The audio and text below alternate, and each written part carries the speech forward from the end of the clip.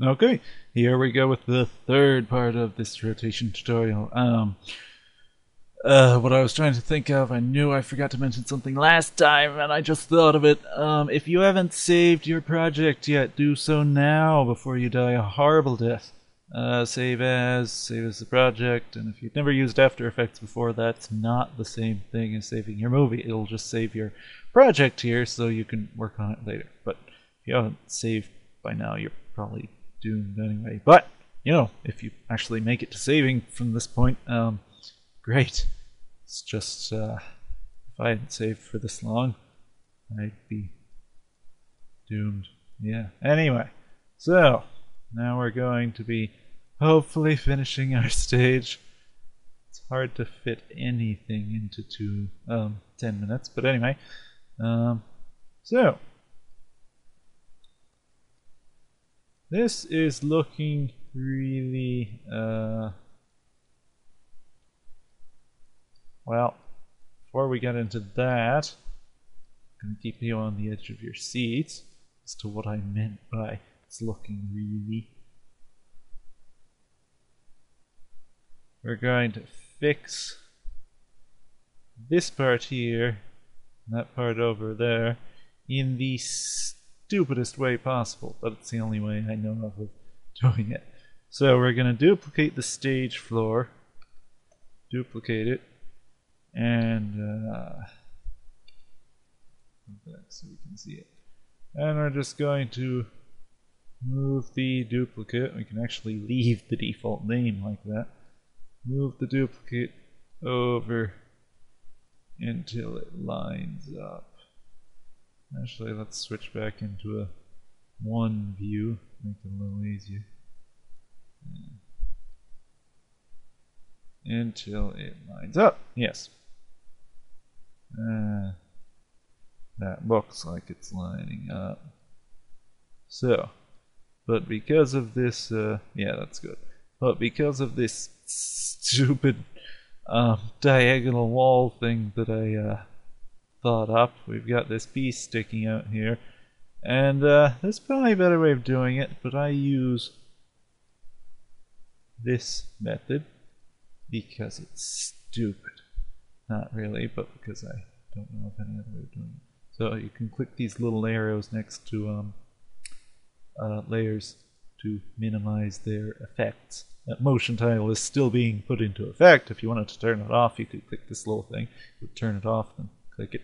It'll save all your settings. But anyway, we want to leave it on. All we want is to work with this um, effect. Makes it easier to see. So, and uh, see where in space? Yeah, not there. Uh, 180, never quite Ah, looks like zero. Never quite sure where this is. Ah, yeah, and here we go. Yeah, that's all I wanted to do. I feel stupid doing it this way, but because we're never probably in the movie that I'm going to make with this stage, you'll never see this back part. If you want to see that back part, and you know that could be really cool. Um, then uh, you can just make a, another floor and rotate it so it lines up diagonally, or just skip the stupid diagonal wall. That's probably the best thing. Uh, so anyway, now we uh, figure out, yeah, stage floor to duplicate it again, and uh, Let's go back to our 2 view. Speed things up a little bit, except we don't want to move it in any of the axes except for X. There we go. I wonder if shift will work here. It will, much faster. Even when you're dragging those numbers, holding down shift will speed it up. Didn't know that. So anyway, uh, look over here, back and it's uh, um, position. Actually, a little more room there. Okay. That is perfect. Well, no. Uh, I'd hesitate to say anything I've done here is perfect, but anyway. Anyway. Anyway, uh, okay, so now this is looking like it's got um, the general shape of a um, uh, uh, stage, kind of a strange stage, but anyway, um, but it's all looking kind of samey, isn't it? I mean, the same wall, same everything. So, this is the really nice thing about 3D modeling with After Effects that um, that it's an advantage over regular um, real 3D modeling programs.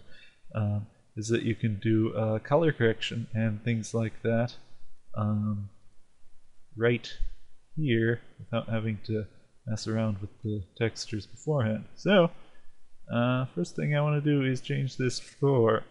Uh, you can already see that the uh, boards are smaller on the stage, and that was actually intentional in a way.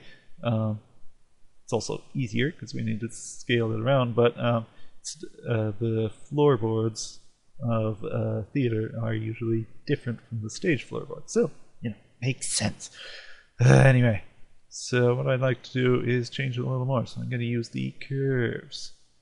And uh, curves are tricky things. Just play around with them until you figure them out if you haven't already.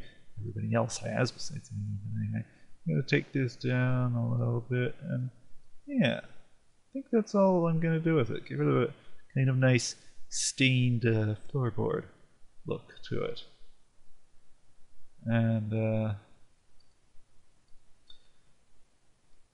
and the walls. Um, I'm gonna also use curves. I'm gonna darken them a little bit. Actually, I'm going to go into the red channel and uh, boost up the red. Do it around so we can see it. Boost up the red, then go back into RGB and take it down.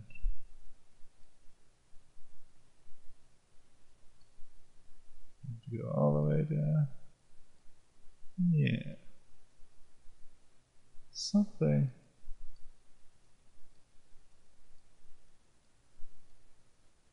Yeah, something like that. Um, give it a, uh, a kind of look of a, uh, I don't know, uh, theaters are sometimes uh, done up with that red velvet stuff. So it's red concrete drywall, whatever. uh, so you can fiddle around until it looks exactly like it you want it to look. But anyway, if we just go um, click on the effect and go edit copy or control C, whatever you want, and click on our other layers, we can just um, click over here in the control in the effects panel again, paste, and it'll put it um, edit paste. I just went um, control V um, and do it again and we're good. And finally, I'm going to do the I think the last of our um, color correction here is on this back wall. I'm not going to use curves. All I'm going to do is do the hue and saturation, bring the master saturation all the way down, so it's uh, it's just black and white. Maybe the lightness down. Um, so now I've got this whole kind of concrete thing, and this colors are a little more enthusiastic than um, when I was practicing this tutorial. But what can you do? So, okay. And, uh, yeah. Oh, ugh, I'm out of time already. Okay, I'll see you in the next segment. If you're with me this far, I assume you'll come back.